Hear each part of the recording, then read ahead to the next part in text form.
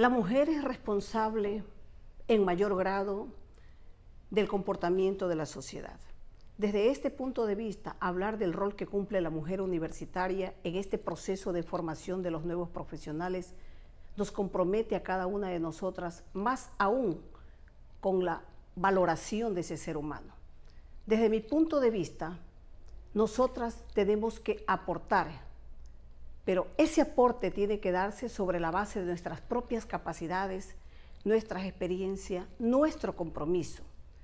La mujer cada día ha escalado más posiciones y estos espacios que estamos ganando las mujeres es la respuesta de que somos personas preparadas para asumir grandes retos, que somos personas preparadas para entrar en un proceso en el cual nuestra participación sea visible.